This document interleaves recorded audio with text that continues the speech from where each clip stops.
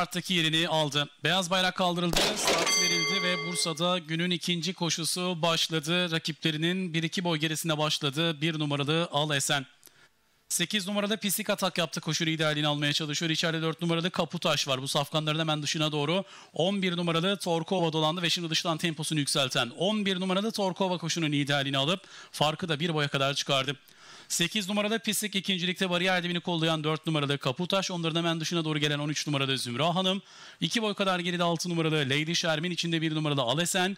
2 boy geride 3 numaralı Irmak Çiçeği. 1,5 boy geride içeride 2 numaralı Bir Sensin Sultan. Yanında 7 numaralı Özgül Sement. 2 boy geride 12 numaralı Zorkoz içinde 10 numaralı Semendin Gücü.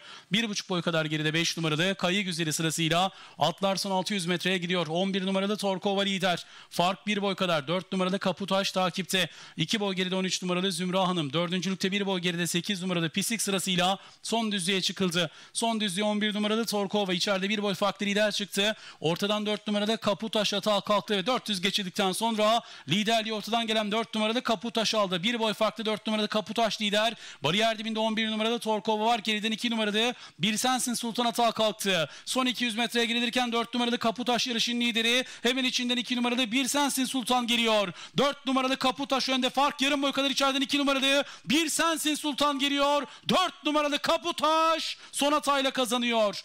2 numaralı Bir Sensin Sultan ikinci oldu. 8 numaralı Pisik üçüncü. 3 numaralı Irmak Çiçeği dördüncü. 10 numaralı Semendin Gücü de yarışı beşinci olarak tamamladı. 4 numaralı Kaputaş İbrahim Sefa Söğüt'le kazandı. 12 numaralı Zor Kız'la Eküri start aldı.